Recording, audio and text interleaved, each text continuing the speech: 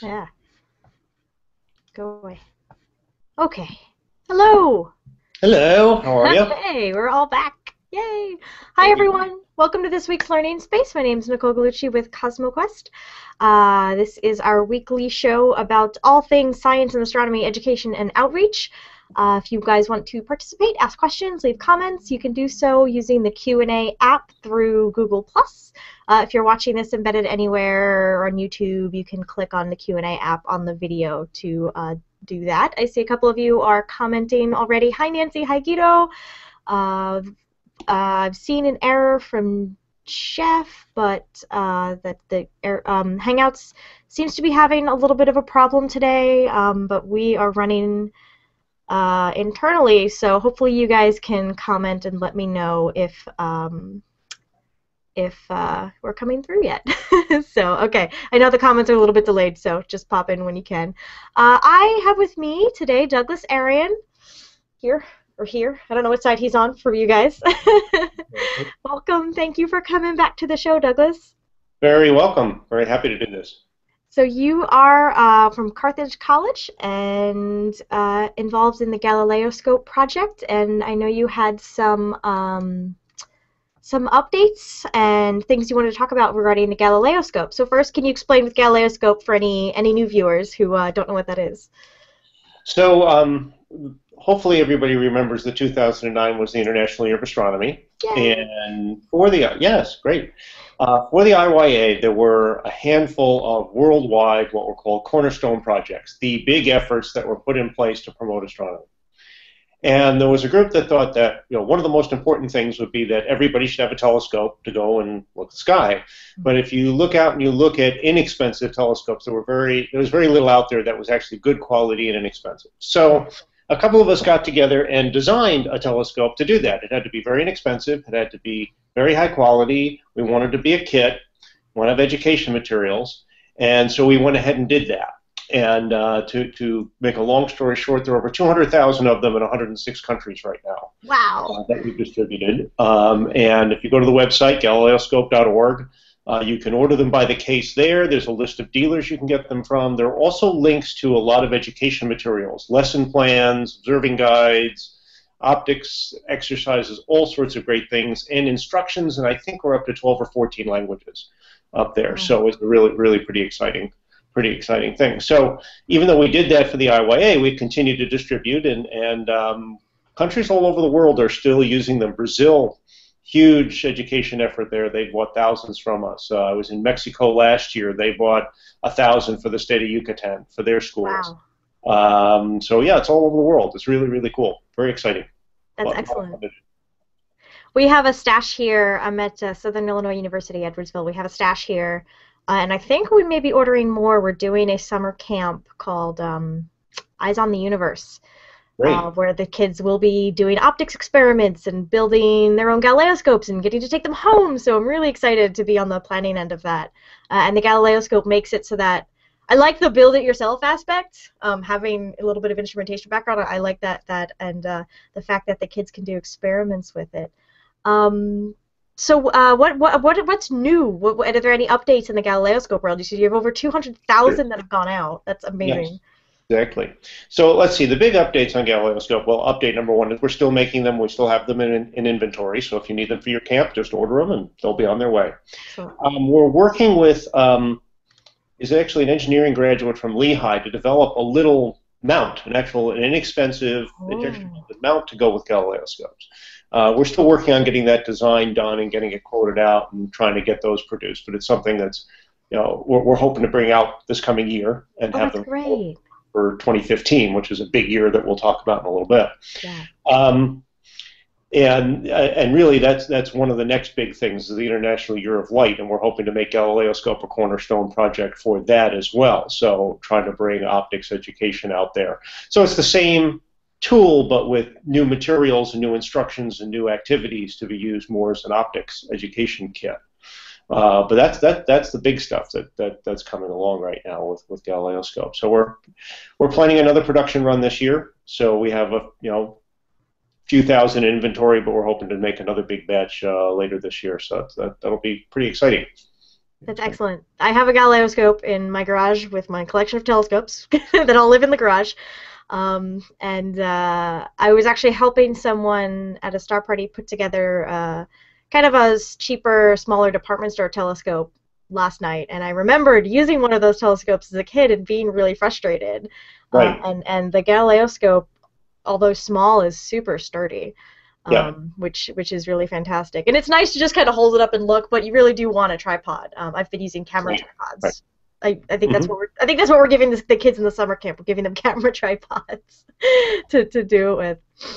Uh, well, we can link you up with uh, suppliers of, of inexpensive but very good tripods. So let us know. Ooh, that would be really cool. I'll have to Definitely contact us. We'll do that, and that and that's to the community as a whole. I mean, we have linkages to it, and I think there may be a link on the website. If not, uh, we can send you send the information on that. So that's very cool. You know, it's fun to see what people have done with Galileo scopes. Go to do a Google Images search on Galileo scope, and it's amazing. You'll see people, firstly, all over the world, kids, adults, schools, everybody using them, and then there are other people who've gone and used them for things. So people are now using them to, to build autoguiders for their telescopes mm. because it's the most cost-effective 50 millimeter refractor you can get, and they put their auto guider in the back in it and rings, and all of a sudden you have this, you know, ten thousand dollar telescope with a twenty-five dollar Galileo scope on the side of it being the auto guider, which is Oh, pretty. slick. awesome. You see them being used in a lot of different places, so it's very cool, very very cool.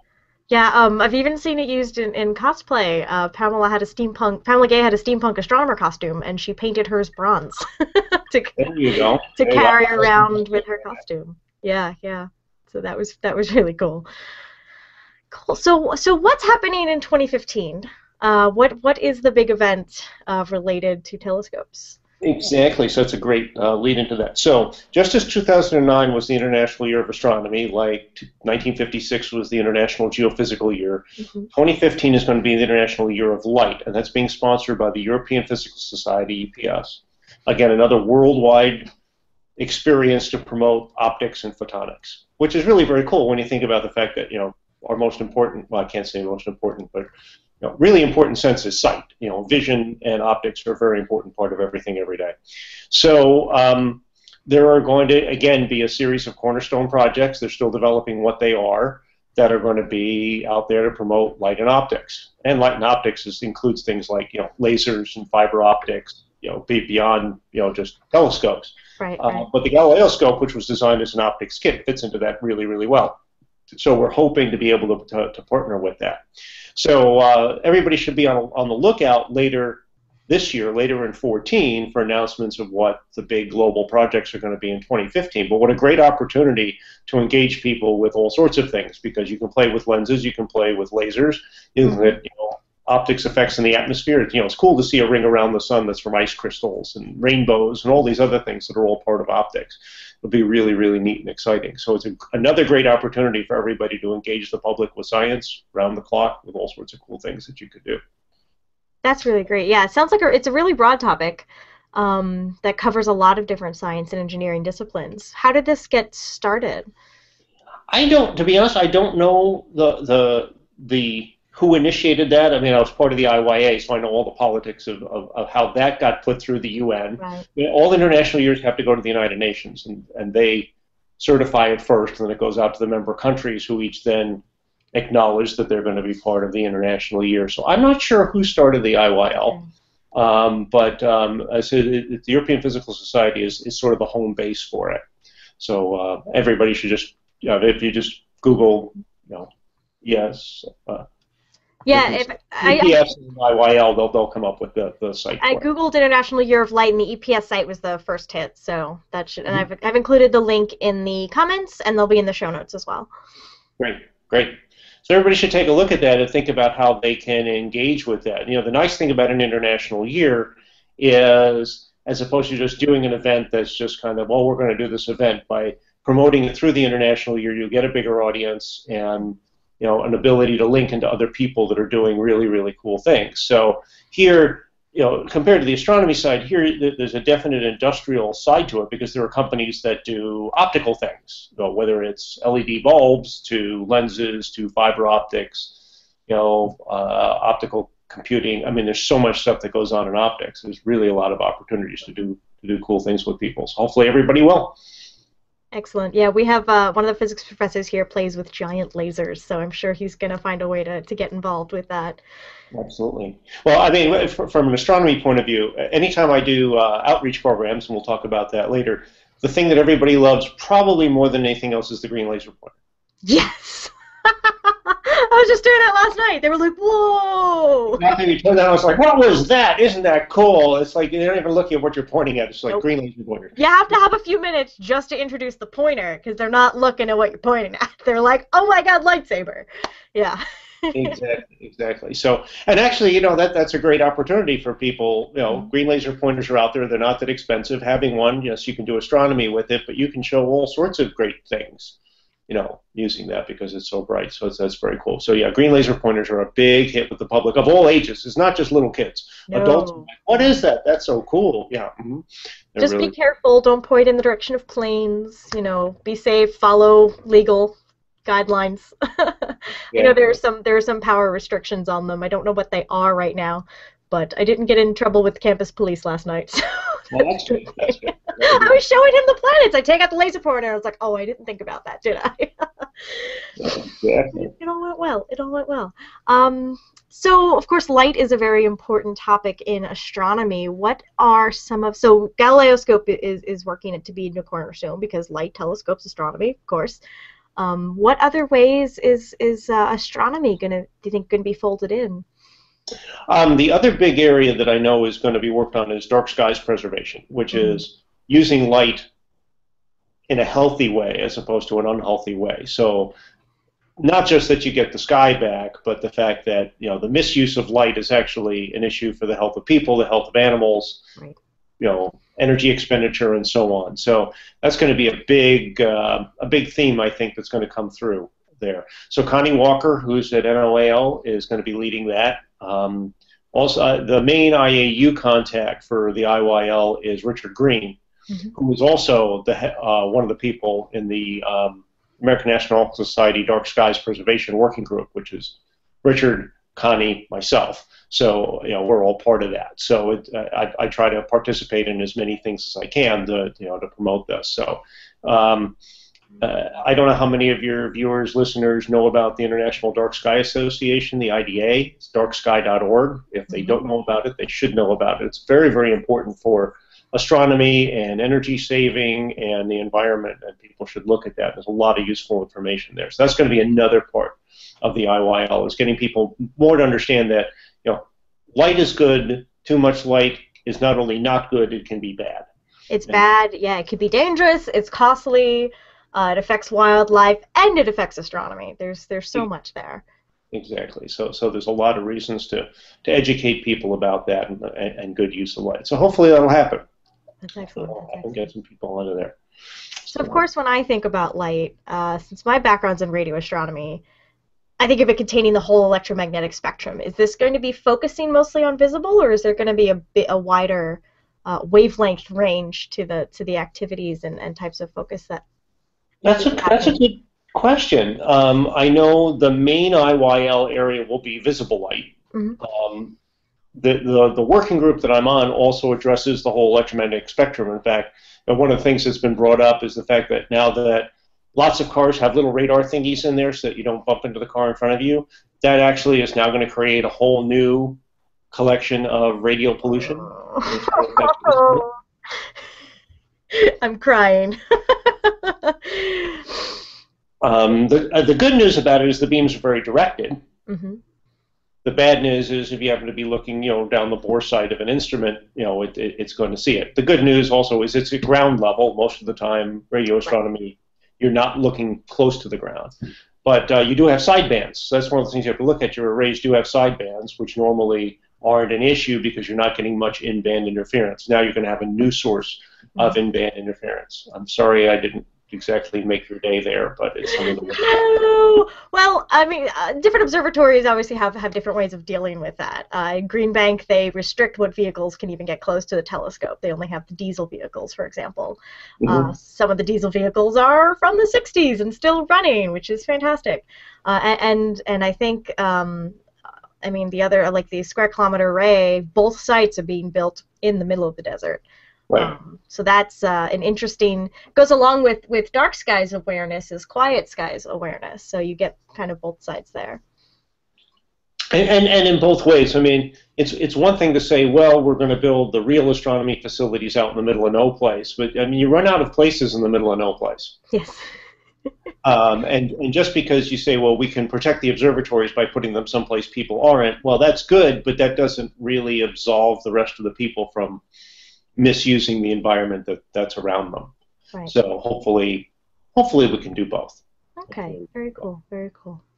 Um, anything else relating to International Year of Light that we should look for?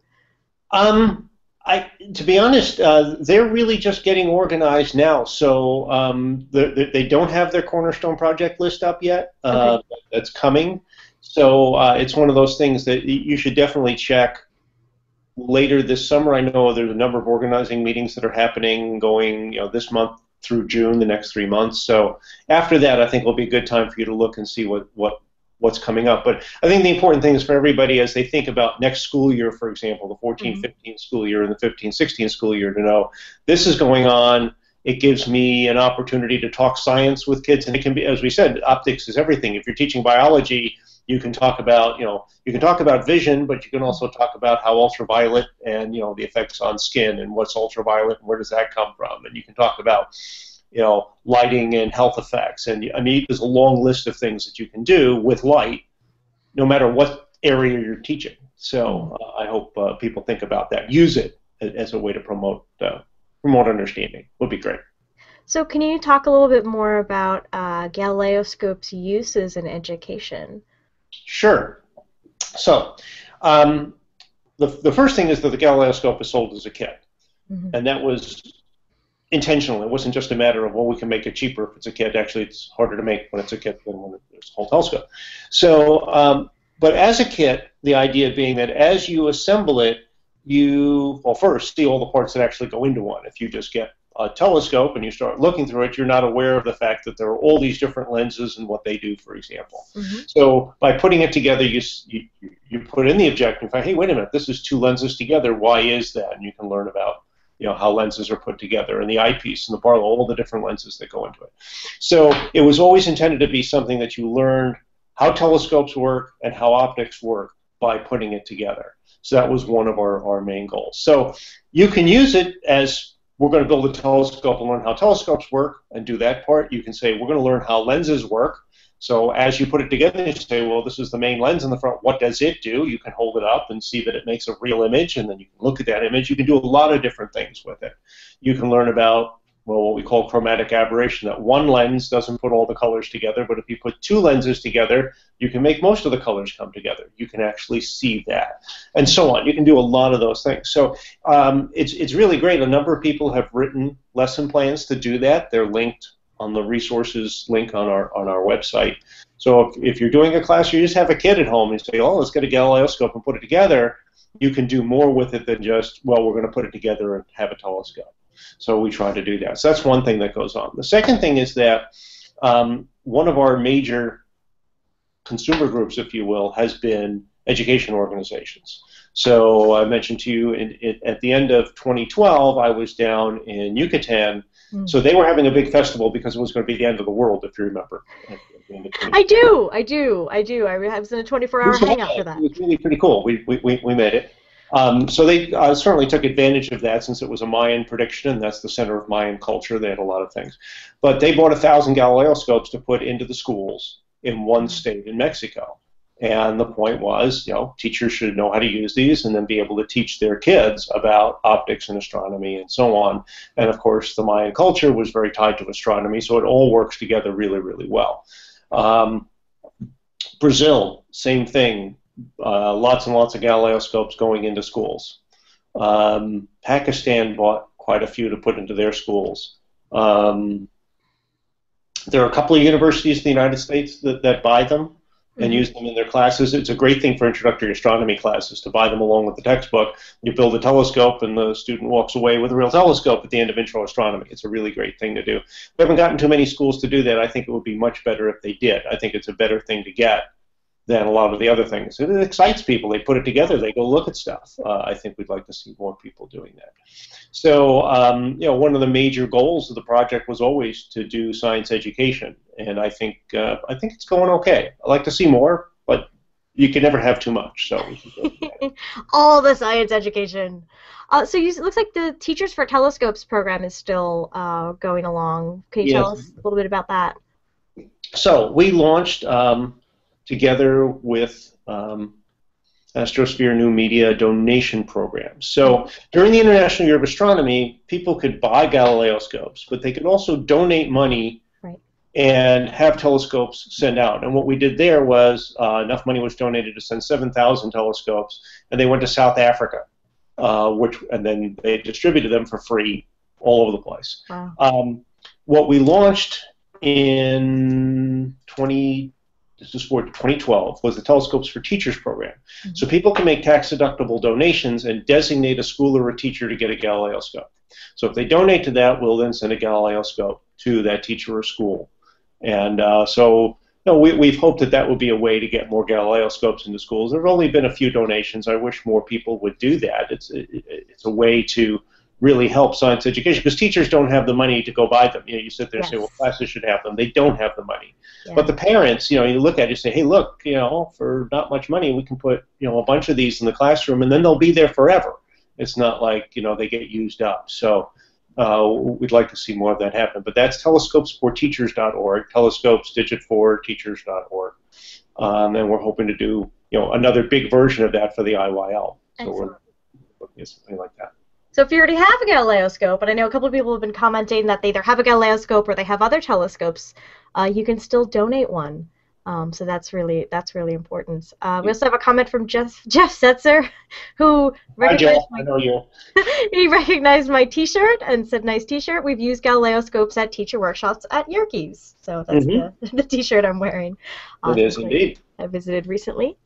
Um, uh, there's also uh, looks like a new uh, Galileo workshop program. Is this also going along with the educators?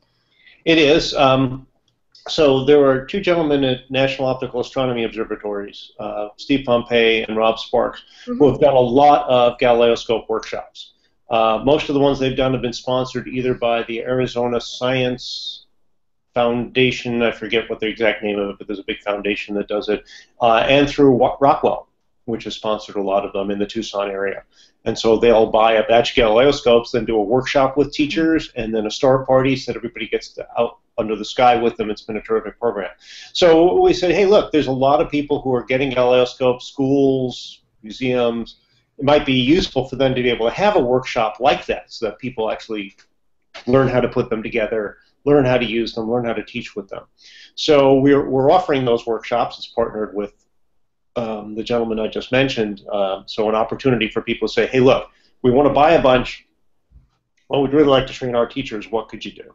And they could approach us, and we would make that linkage so that they'd have the opportunity to get that kind of training.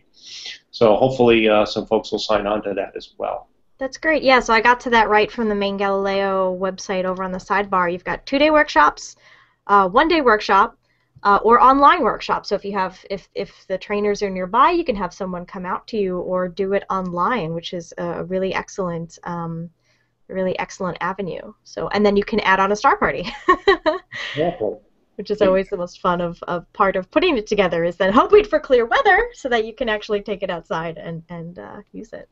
That's right. That's right. So, so hope for clear weather. So you said you did a little workshop yesterday, and you actually had clear weather, which is pretty cool because that's oh, not doesn't always happen. It was uh, yeah. Every two weeks, I do a star party on campus, um, and you know weather dependent. And the last four have been clear. We've been really. Wow. the, we started off really bad, having like to cancel one after the other, but the last four have been great. So uh, we have a bunch of high school students that are taking an astronomy class, and their teacher requires them to come to the observing sessions. So that's that's really great. We just have uh, an eight-inch celestron out there, um, so but it's been fun. That's great. That's great. Yeah, yeah. Um, uh, speaking of observing, do you want to talk a little bit about the program that you're doing? I think we wrote a post about this on CosmoQuest uh, the outreach event you're doing, the Appalachian outreach event. Right.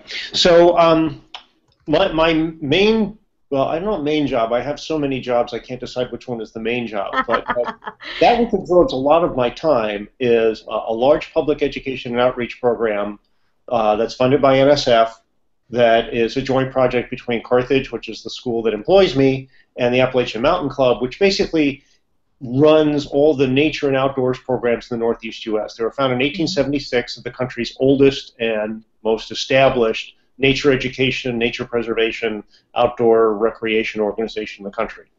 Um, so uh, I approached them a couple of years ago and said, well, you do all these great nat- nature education programs, but you don't have astronomy. Would you be interested in that? And they thought it was just a wonderful idea. Excellent. Uh, so I got NSF to fund it. So Carthage physics and astronomy students who do research with me, so I was just a Kitt Peak week and a half ago, as a matter of fact, where, by the way, we got one night out of three clear. Oh, gosh.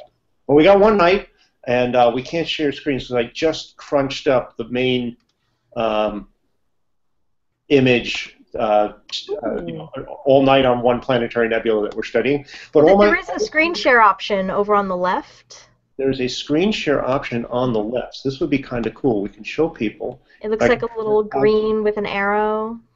green with an arrow. Coolness. There we go. Ooh. So Oops, let me put it can, can people see that? Yeah, yeah, I've put that on the main screen. What is that we're looking at? So that is uh, a planetary nebula denoted NGC 2730, 2371 and 2. So we'll do a little astronomy here in the midst of all this. But um, the NGC catalog is a list of objects that were mostly found by William and John Herschel Mhm. back in the 18th century. And um, can they see my mouse moving too? Is this Yes. real? Yes, Okay. I can see that. So you see this blob here and that blob here. Those were the only two things they could see, so they gave it two numbers. This is Oh. 71 and 2372 because they couldn't tell that it was all part of this one big thing. Yeah. Um, and this is a planetary nebula, so that's the white dwarf right there, the, the, the remnant Wow. that's left, and this is basically its guts that has spewed out and is now illuminating with the ultraviolet coming from here. And planetary nebula are very cool. They're very cool. Firstly, they don't last very long. This will be visible for 10 to 15,000 years. Which That's a blink of an eye. Yeah. for something that's been around for billions of years, something that lasts 10,000 years is next to nothing, number one. Number two, only low mass stars like the sun make them, so the sun is going to do this. So, four and a half billion years, we're done. It's all over. The sun's going to do this. We're toast. So, get your affairs in order. You've got four and a half billion years left. Um, they have some oddball shapes. This is one of those shapes. They come in about half a dozen different shapes, and nobody knows why hmm we still don't understand the different shapes that they have. And they're very hard to get a distance. Most planetary nebula distances are unknown. Oh wow. There's no standard candles for them. White dwarfs come in many different brightnesses. These come in different sizes, different shapes, different speeds. So th- there's been a lot of work done to try to understand how far away they are, which you'd like to know because then you can figure out other cool stuff.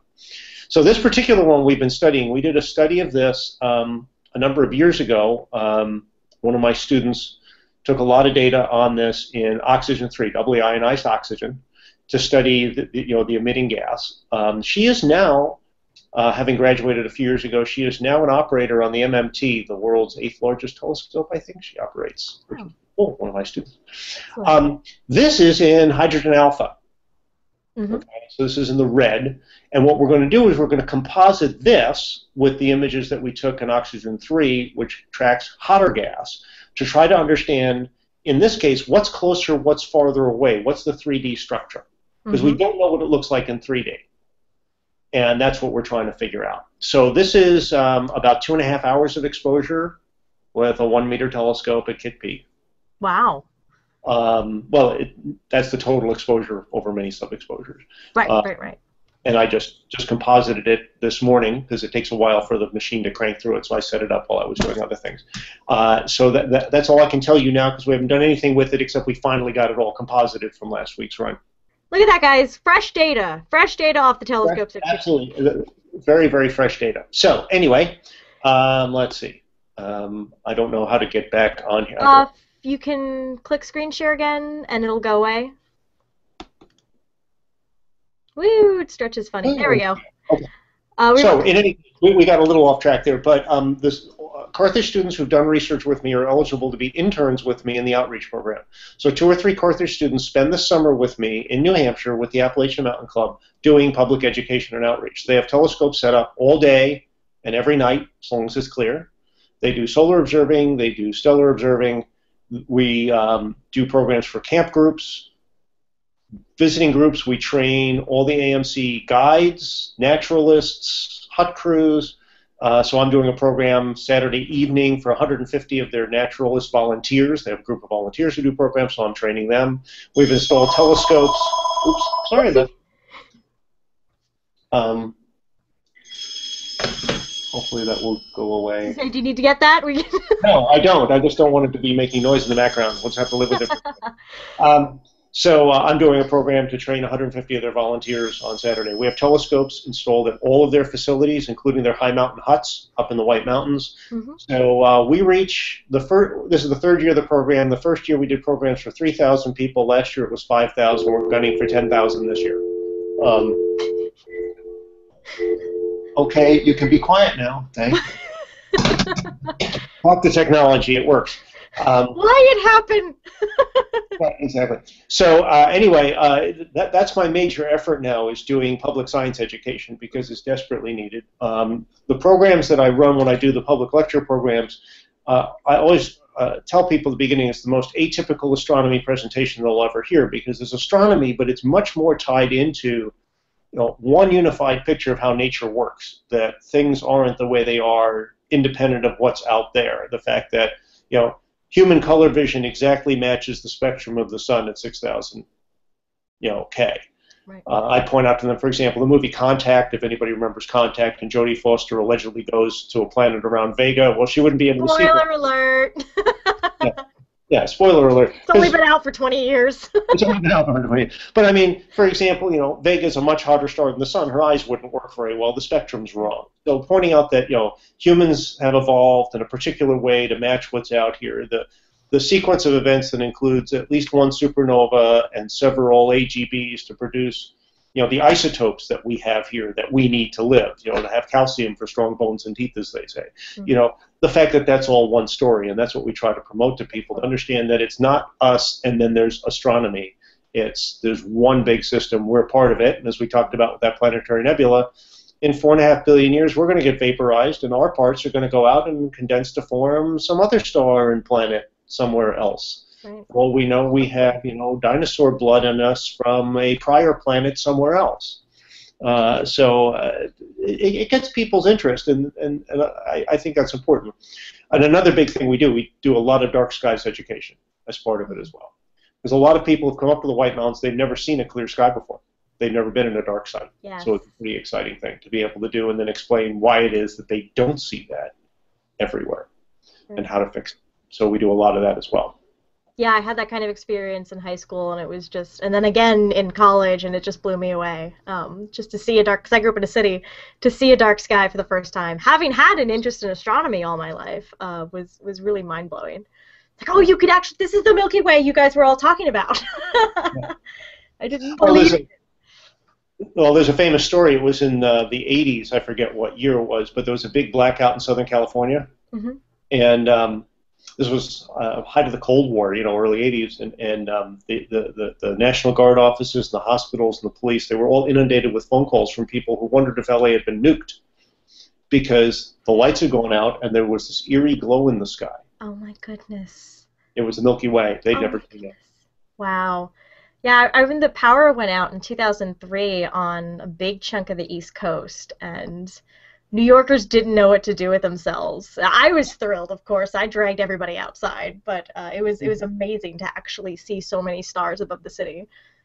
Yeah, that's it was incredible. Cool. Yeah, hopefully, you know, blackout's not a good thing, but there was a silver lining. Uh, so, how can people um, get more information about these these programs? Okay, well, let's see. For, for all the things, Galileoscope is galileoscope.org. Mm-hmm. Uh, telescopeforteachers.org, and I know you'll post those things up. Mm-hmm. Uh, you've already put up the link for the International Year of Light, which is very cool. Uh, for the AMC programs, um, uh, the, the, AMC's general site is outdoors.org. Okay. I highly recommend people just look at that. Uh, and then there's going to be outdoors.org slash astronomy which is a page we're just creating now. So if you go now, it's not it's just a schedule, but we're, we're going to be putting up a full page about the astronomy programs uh, in the next week or two. Um, and uh, we also have a lot of resources up for the outreach program at a site called amc-astro.org. AMC Astro, amc-astro.org.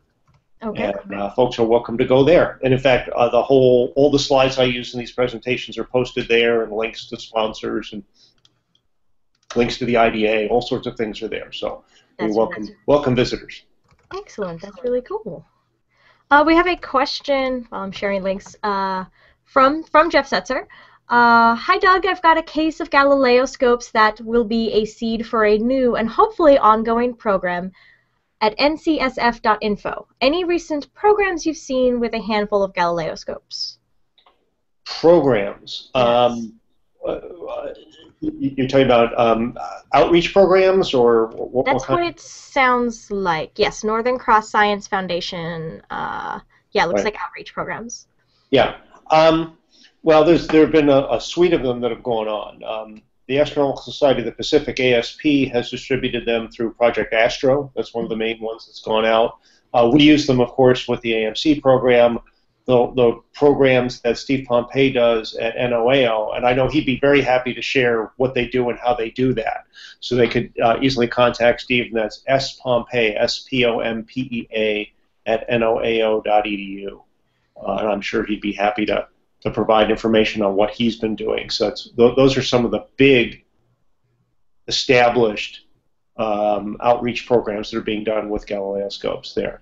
Um, there is um, an entire workbook of things to do with it that's up on the website, so do take a look at that. That was put together by Tim and Stephanie Slater from the University of Wyoming.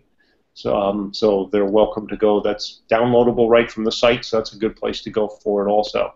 Uh, and, and Jeff has my contact information. He's welcome to email me, and I'll uh, give him more information or stuff if he'd like to have that. Be very happy to help out. Very cool. Very cool.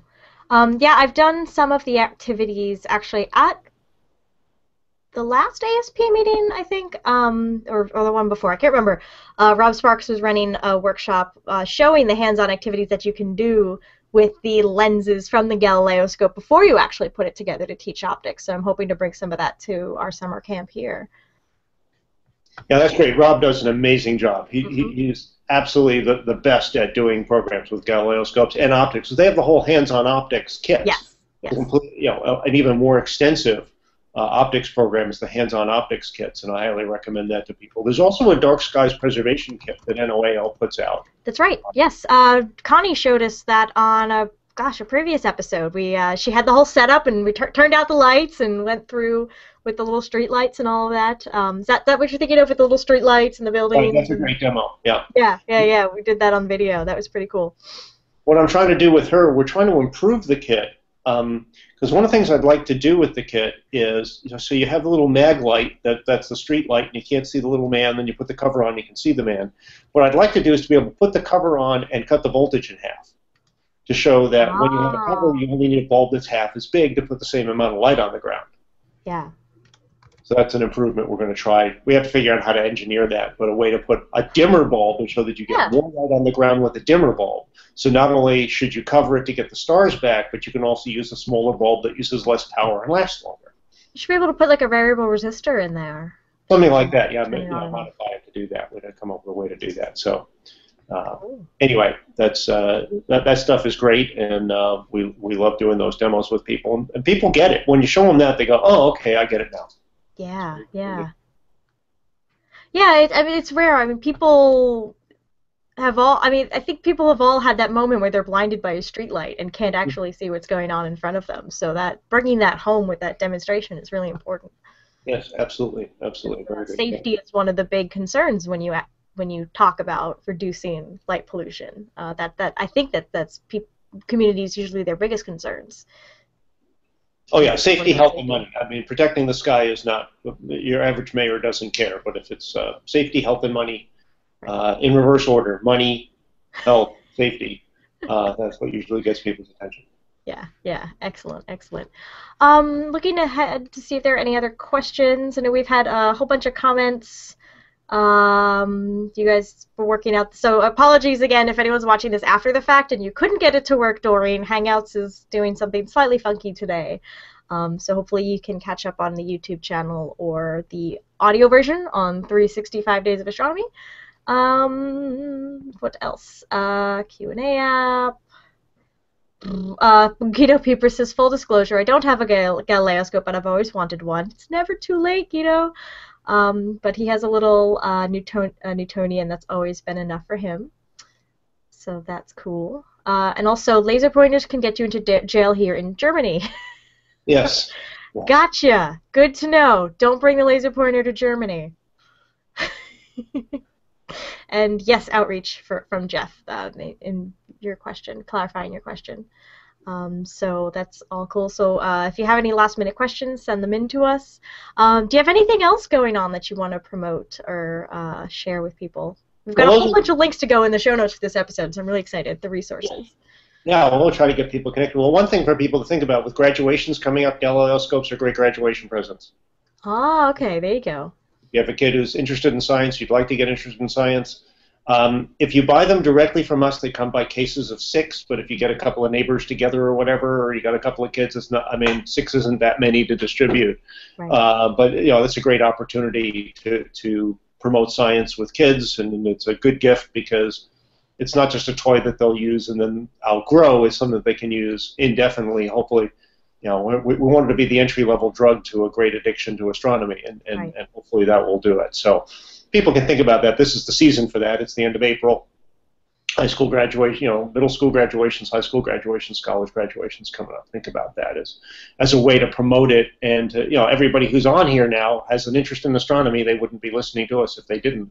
That's a great way to promote it. Uh, so I, I, I urge them to do that, and, and know that we're volunteers running it. We're, we're we are not only not making money, we're you know we've sunk the money in to make it. So Yes. um, it, it's not the same as supporting a commercial venture. It's really something that's being done to promote astronomy. So uh, I ho- hope hope folks will do that. Excellent, excellent. Well, thank you so much. Um, I'm gonna put out a few announcements, and then we'll wrap up maybe with uh, one last uh, final thoughts about the um, the upcoming International Year of Light and what that means to you. But first, I'll do some announcements. Uh, today is Wednesday, which means the next hangout is Friday uh, at noon Pacific. That'll be the weekly space hangout hosted by Fraser Cain. We'll be talking about the top news stories from the week. I say we, I don't mean me. I I am going to be getting prepared for the big hangoutathon. um, so this weekend, April 26th and 27th, we're starting Sunday, uh, Saturday, about 10 a.m. Central Time. So that's I don't know what that is GMT. 5 p.m. GMT, uh, and we will be doing a 36-hour hangout. Wow. um, it'll be uh, myself, Pamela Gay, uh, Phil Plait's involved, Fraser Cain's involved. I have no idea what else is going to happen because I haven't seen the schedule yet. I'm just gonna mm, throw myself in there with everything. Uh, but we are. Uh, I've been I've been on the back end for booking a few last minute guests this week, so we're gonna have some really fun guests again. Uh, we are going to have uh, some crafts, some sciency related crafts and maker things. Um, it's going to be a lot of fun. This is all to help us raise awareness of science and astronomy education and to raise money for to keep the CosmoQuest Citizen Science going. Uh, because we, of course, have just released some really amazing science results, and we definitely want to keep going and, and get more, recruit more citizen scientists to the cause. So uh, that's this weekend. Check the CosmoQuest page on Google Plus. Uh, I've been tweeting videos from last year's Hangoutathon, you know, memories, remember when, um, and all of that. Um, there'll be a virtual star party Sunday, whether or not it's uh, uh, there may be a virtual star party tied in with a hangoutathon, uh, assuming we can get clear skies for some of our observers. But then the usual virtual star party happens Sunday night at about 8 p.m. Pacific. Uh, and then Monday, assuming that we're not all dead from the hangoutathon, is the recording of Astronomy Cast um, with uh, Fraser and Pamela. Next Wednesday on Learning Space, uh, Georgia, Georgia will be back. Georgia and I will be talking uh, about telescopes for Tanzania. So a particular program getting telescopes out to Tanzania. So uh, we hope you can join us next week for that. Uh, Douglas, hopefully you'll be able to join us for the Hangoutathon. I don't remember Uh, what we'll, the. we'll try. I, I, as I said, I'm going to be spending most of my time doing a big training program. Oh, for- that's right. That's right. That's right. So uh, I will be doing, uh, you know, accomplishing what we're all trying to accomplish here, which is spreading astronomy to the world. Excellent. So I probably will not be available, but I will try. I'll try to take a look at it. Okay, sounds good. Sounds good. Thank you so much. Uh, do you have any last um, words about either Galileoscope or Year of Light or, or any of that? Uh, just uh, do, do look at all the various links that uh, Nicole's putting up so you can see what's going on. Uh, I'm happy to answer questions from anybody, so please feel free to forward those to me. Uh, information anybody would like on those things, I'll be happy to link them up to it. So uh, let me know how, how I can help. Great, great. Uh, do you have a contact, a way people can contact you that you'd like to share? Uh, the, the email address is the best way, and that's just darion, D-A-R-I-O-N, at carthage.edu. That's the Excellent. best way to reach me. And I will do my best to get back to you as soon as I can. Excellent. So uh, we got a thank you from Nancy Graziano. Thanks for the great show. I can always count on it being information and educational. Thank you, Nancy. Uh, and we will see you guys next week. Thank you, Douglas. You're very welcome. Take care. You too.